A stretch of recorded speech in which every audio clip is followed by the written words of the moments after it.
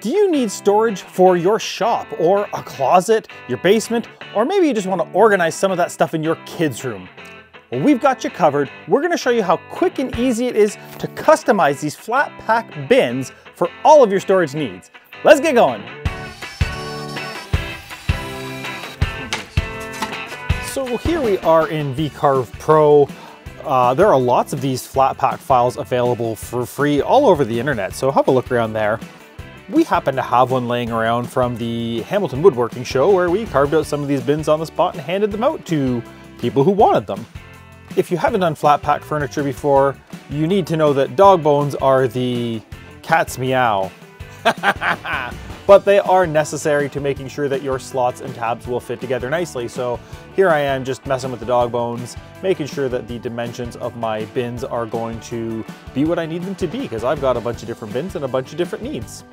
If I can give one little tip, it's to measure your material when you are modifying your slots, because if your material isn't the same spec as mine, the slots are gonna be too big or too small, and neither one of those is very good. So measure your material, make sure you adjust those slots for the right dimensions, and you'll be flying. The tool paths for this project were pretty basic. Uh, I used an eighth inch down cut end mill.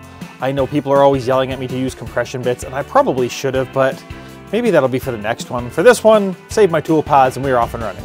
Speaking of bits, if you need any bits for your CNC, no matter what machine you're using, check out the store, sienci.com. We got all your CNC machine needs and accessories right there at your fingertips. You can see right off the bat, these first couple of cuts, the material wasn't as rigid or I guess as flat, uh, or maybe my work holding was a little lacking.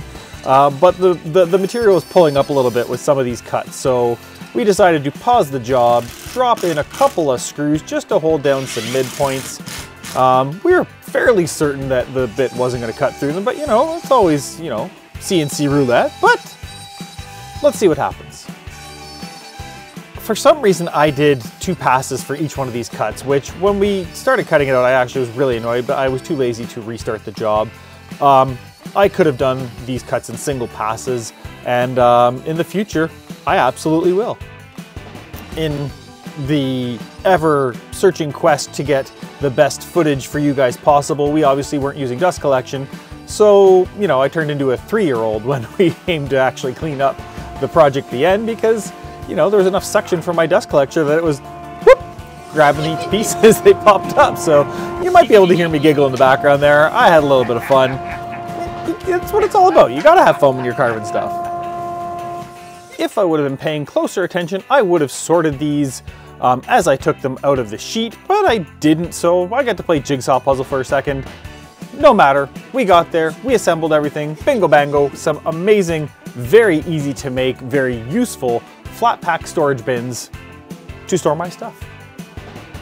Don't forget, you can download these files for free. Click the link You'll find them there, modify them to your heart's content, and enjoy the freebie that we handed out to you.